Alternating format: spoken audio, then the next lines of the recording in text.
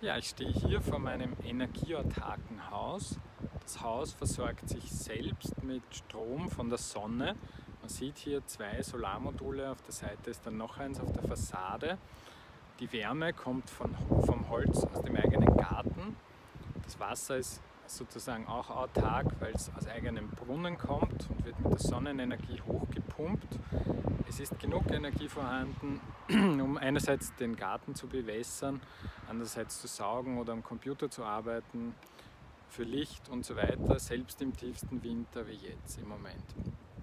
Wichtig war mir bei dem Haus, das doch schon 60 Jahre alt ist, dass nichts weggeschmissen wird, sondern dass viel repariert wird. Einerseits die Regenrinne, die man hier zum Beispiel sieht, die war schon ganz löchrig und modrig. Die habe ich dann gestopft und äh, neu lackiert und man hat nichts wegschmeißen müssen.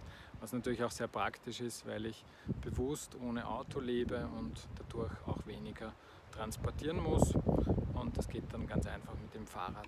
Ja, wir sehen jetzt ein paar Geräte, die für so ein autarkes Haus notwendig sind, beispielsweise die Solarbatterie oder Wechselrichter. All diese Geräte kosten jetzt kein Vermögen, man muss kein Millionär sein, um sich so etwas zu leisten. In meinem Fall ist es ein Wochenendhaus, ein autarkes, aber mein guter Freund Franz Spreitz hat ein ganzjährig bewohntes Einfamilienhaus, ebenfalls autark.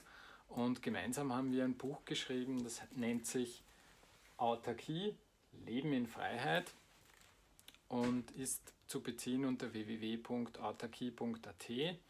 Und wir haben das eigentlich geschrieben, damit möglichst viele Menschen sich so ein autarkes Haus basteln und, oder kaufen und freuen uns sehr, wenn es viele Nachahmer gibt.